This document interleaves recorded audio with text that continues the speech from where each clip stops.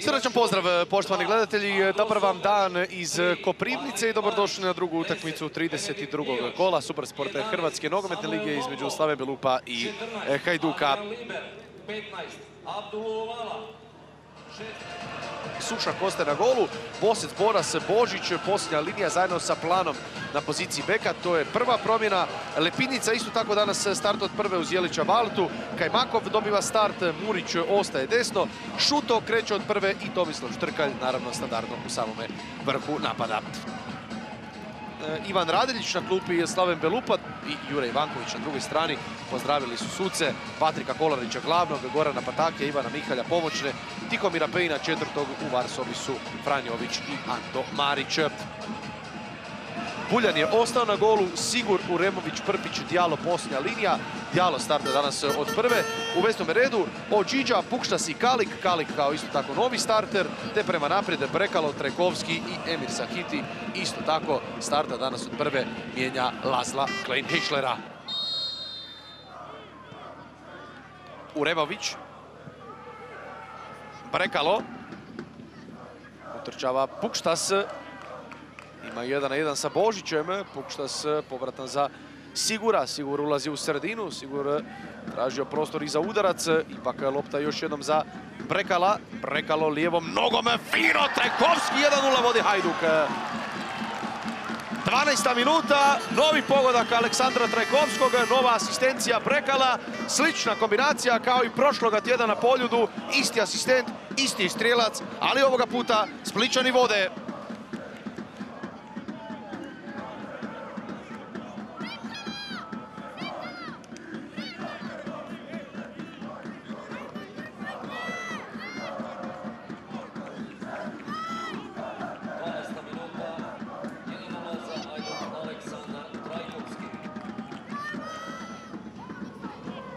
A Brekalo ponovno ubacuje loptu na prvu vratnicu, pukšta se glavom, evo Ođiđe, Ođiđa je stisnuo, Sušak obranio, Trajkovski je na odbijenoj lopti.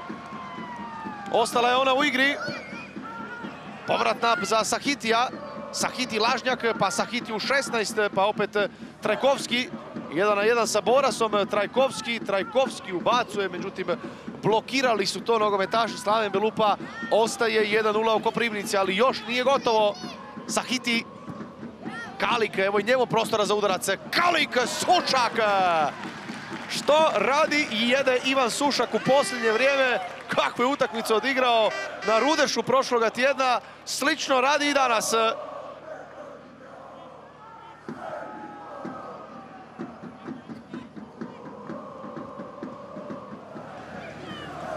Ivan Borna, Jelić Balta. Robert Murić, ubačaj na prvu, udarac glavom i evo dobre prve intervencije na dvoboju Borne Buljana. Sigur. Prekalo. Krao Bosece, pa onda Mioć, Mioć izvana, Mioć još jednom natjerao Buljana na intervenciju. Čiđa prema Trajkovskom, plana je na lopti, ali daju točno na noge Emiru Sahitiju. Sahiti traži prostor za udarac. Sahiti! ovo ide malo, malo pokraj. Ođiđa, fino petom za Prpića, Prpić za Kalika, Kalik za Trajkovskog. Trajkovski upacuje, Pukštas promašio velikog zicera. Brekalo na drugoj vratici, pokupio otpadak. Brekalo, povratna, Sahiti, blok i izbacit će na kraju domaći. Murić može ići na ovu dugu loptu, 16 metara, Buljan! Buljan još jednom fenomenalno reagira.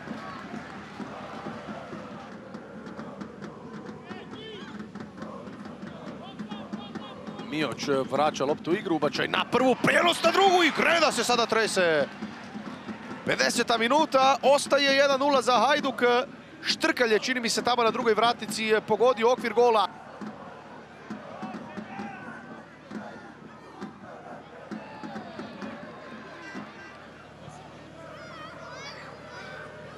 Dijagonala koju će presjeći Bosec, pa onda Sahiti.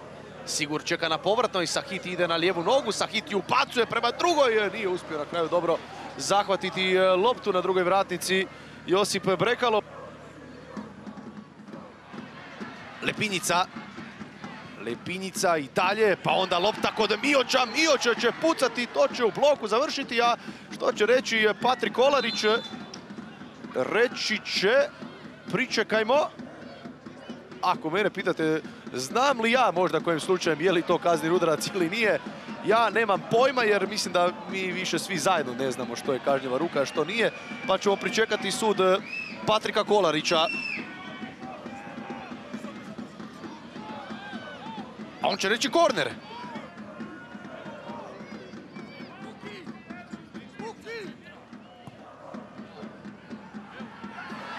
Ovo je bilo odbijeno od nekoga tamo u 16-tercu u vratnicu.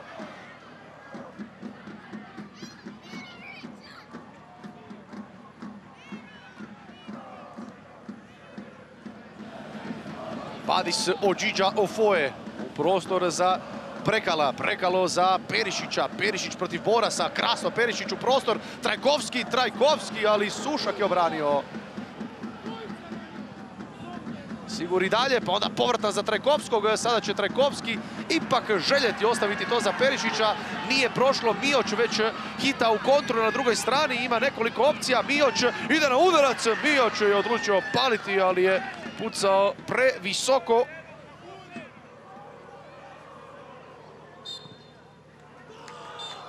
Označen je kraj, Hajduk je prekinuo svoj niz poraza. Hajduk je nakon pet poraza u nizu pisao svoju prvu pobjedu, prvu još od 9. ožujka i 3-0 slavlja protiv Gorice.